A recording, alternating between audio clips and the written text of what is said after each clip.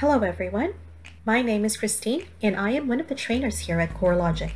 Today's session is all about using MarketWatch in the new Property Guru.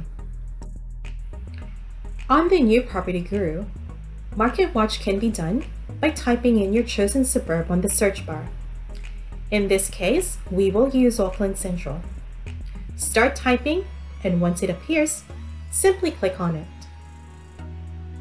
As expected, it will give us a hefty list. The best way to narrow this list down is to use your core filters, which can be found on the left side. We can filter for sale properties as well as for rent. Today, we will focus on for sale.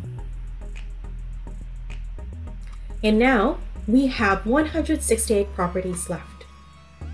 We have other filters that we can use like property type let us choose residential for today.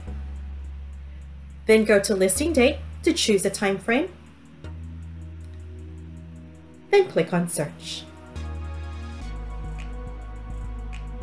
And now, these are all properties in the area of Auckland Central that has been listed for sale in the last six months.